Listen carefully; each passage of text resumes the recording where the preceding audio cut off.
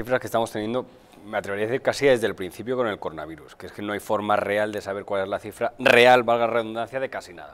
Esto permite pues, que podamos tener un debate eterno, de tal manera que los que creen que Pedro Sánchez miente pueden afirmar que Pedro Sánchez miente, los que creen que Ayuso nunca miente podrán afirmar y creer que Ayuso nunca miente.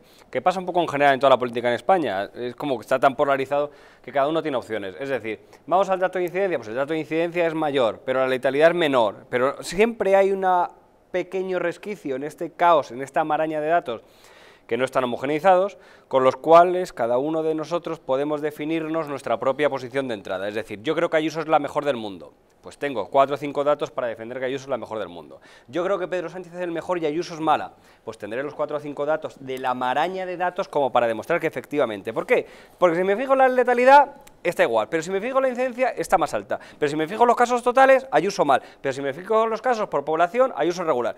¿Qué pasa con esto? Que como no tenemos un patrón de medida real con el que podamos estimar y luego sobre todo a posteriori no va a haber, eh, es decir, no hay una balanza en el que alguien vaya a fiscalizar, no hay una auditoría post mandatos, que es algo que se podría valorar. En su momento recuerdo que incluso lo dijo Carmena, que había que hacer una, entre comillas, auditoría ciudadana de, oye, yo prometí estas cosas, ¿qué he hecho? Bueno, pues incluso con algunos datos, un ente externo con credibilidad suficiente como para determinar no ya por ver quién tiene razón, sino para saber si estamos bien, mal o regular, que es lo que nos interesa a los ciudadanos. Mientras tanto, pues hombre, pues yo como espectador, pues es que me resulta indiferente porque no sé exactamente de verdad si Madrid está un poquito mejor, un poquito más regular